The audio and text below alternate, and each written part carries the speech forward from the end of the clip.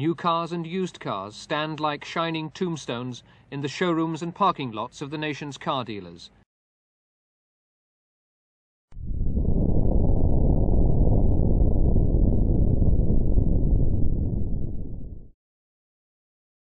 These are the moments when Ethiopia's kingdom came to an end.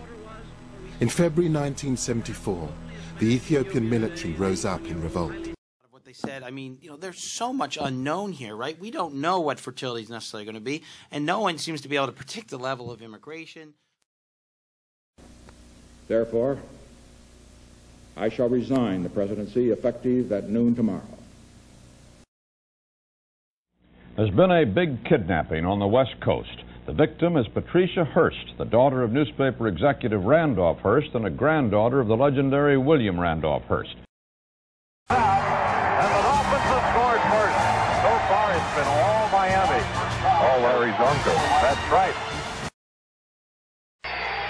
There's a long drive. Boom, boom,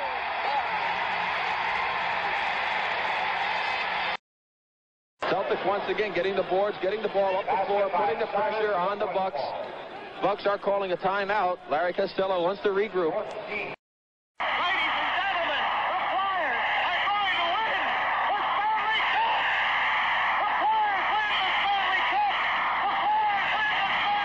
So Chrissie Evert wins her second championship in a fortnight. One of the most difficult championships of the world to win and sweet revenge for having lost in the final last year here to Margaret Court. Coming to where it's still Cannonade. The coming defensive is going to be Cannonade to win the race. He wins it by George Hudson carrying second. Agitator third, J.R. Sellers fourth. Johan Neeskens! And we have the most dramatic start in the history of World Cup finals.